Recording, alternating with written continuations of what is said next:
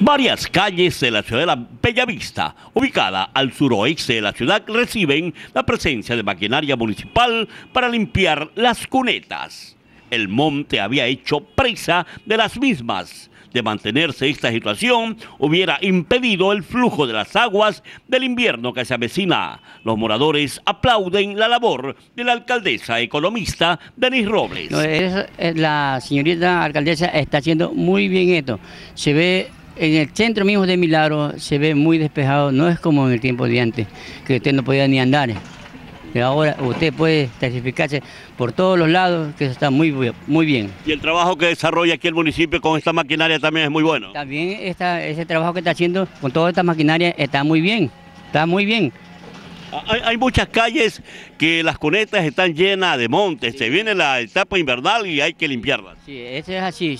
aquí todo se llena de monte y no había nadie quien nos ayude a nosotros. Nosotros así, a base del esfuerzo de nosotros, desde que salíamos del trabajo, veníamos más que sea a picar un monte.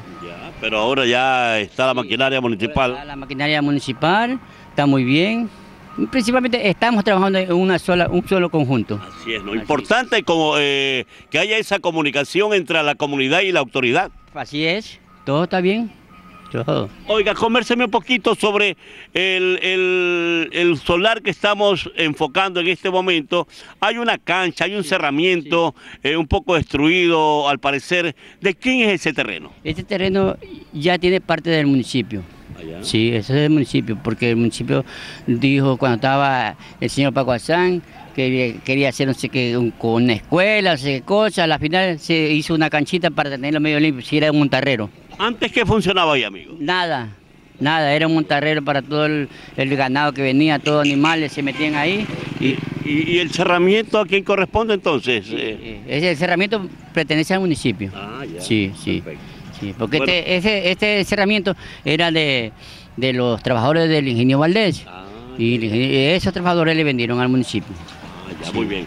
Bueno, en todo caso hay que aplaudir la labor de la señorita alcaldesa en este sector. Claro, Aplauso para ella y que, siga que sigamos trabajando, no la vamos a dejar allá solo tampoco. Así como en esta parte de la ciudad de la Bellavista, en otros sectores, la maquinaria municipal está haciendo presencia. Vicente Peso, Telemilagro.